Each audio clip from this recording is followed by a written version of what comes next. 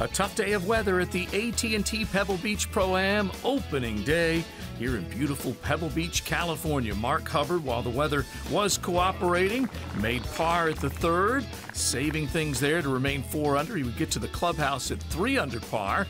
Here's a two-time winner here, Dustin Johnson for Eagle at six. He would come up short, but the birdie would take him to red figures.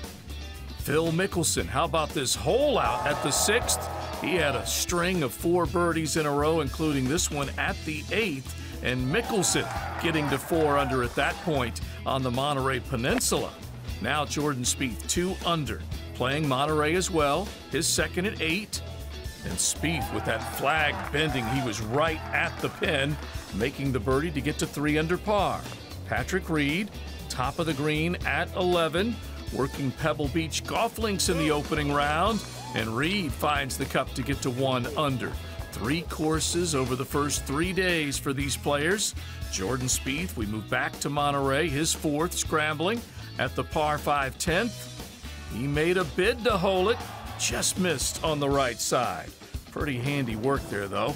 Jimmy Walker, this gives you an idea of how tough it was. This for Eagle at 14, and the wind just basically stopping that putt.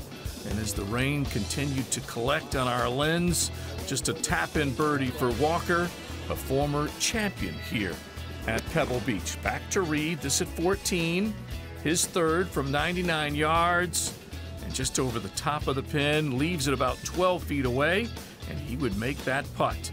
So Patrick Reed trying to get in contention as he looks to get to one under par. And a nice putt holed. Reed picks up the birdie to get to one under par. Tim Wilkinson, three under, saving things at the fourth. He would love to have a chance at his first PGA Tour victory. And so would Rick Lamb. Lamb at four under.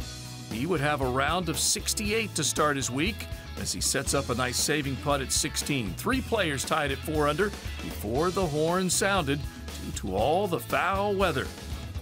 A look at your times for Friday, beginning at 11 a.m. with your PGA Tour Live app.